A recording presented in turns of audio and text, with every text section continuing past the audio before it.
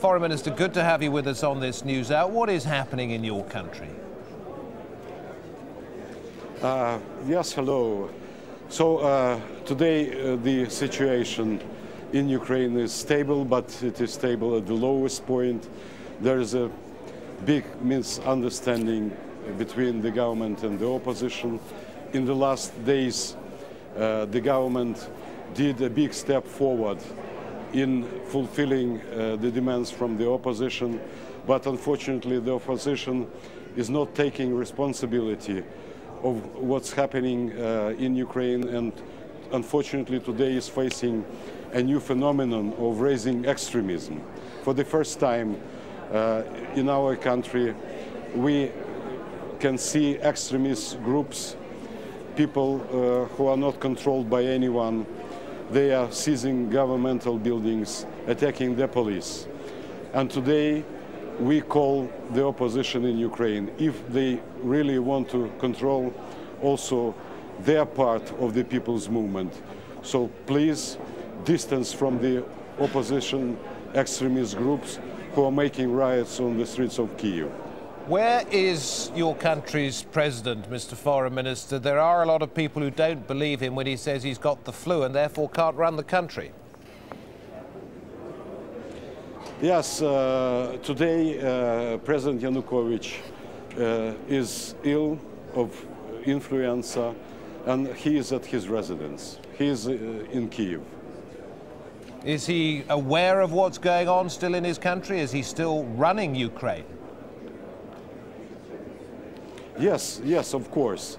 So, but uh, uh, in the last days, President was leading negotiations with the opposition, and it looks like we have found common interests, and everything what dependent, uh, dependent uh, from the government was implemented.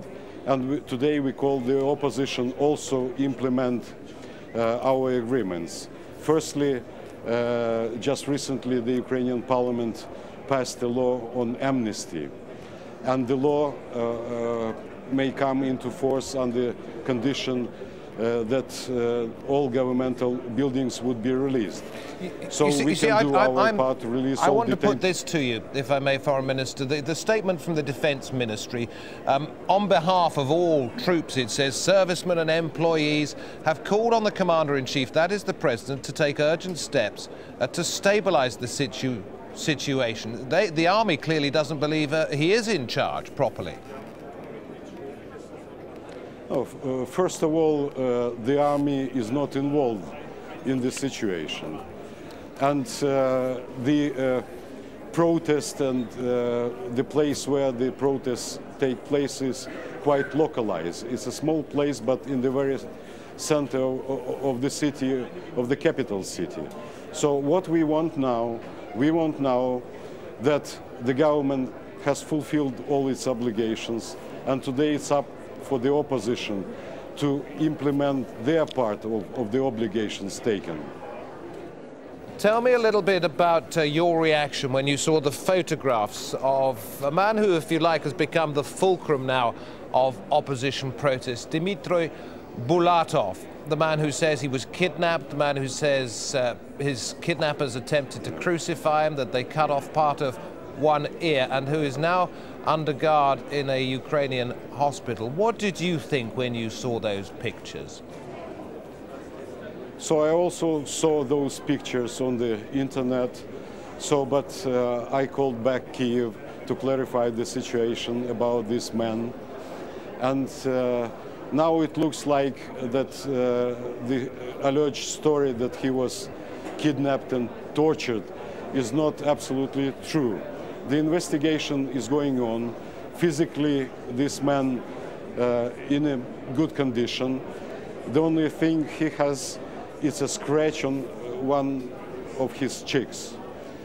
So uh, let's wait for the investigation which will reveal actual facts what happened to this specific person. Okay, you're saying that his story is, is made up. What do you say actually happened to him?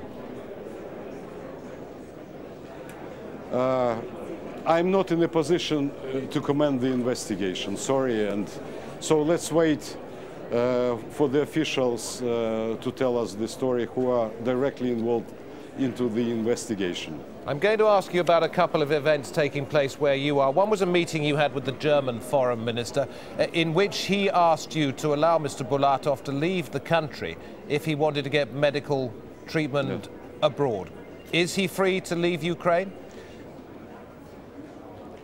Yes, I called this morning to some respective persons and uh, they told me that uh, today uh, he is in the hospital, he is not detained.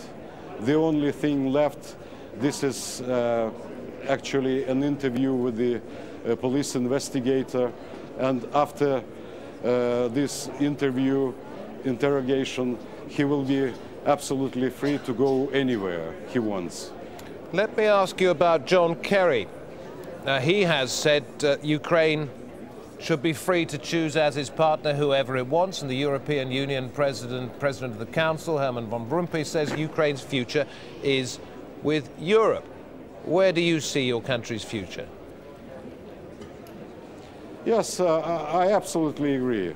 Firstly, uh, the uh, total territory of Ukraine is in Europe. We are linked with the European Union with many economic, cultural, historical ties. So uh, the European Union is our important trade and economic partner. So, but on another hand, we have, we have similar strategic relationship with Russia. And from the geopolitical point of view, Ukraine holds a strategic position. So, and uh, I believe that one day this, our geopolitical advantage uh, will benefit to the Ukrainian people. But today it looks like East and West are competing to each other regarding Ukraine. And we don't want to be a playing card in this game.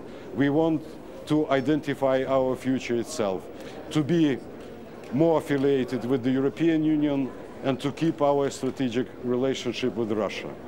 So one final question to you, Mr. Kozhara. As Foreign Minister of Ukraine, what will you say to the Foreign Minister of the United States, John Kerry, when you meet him?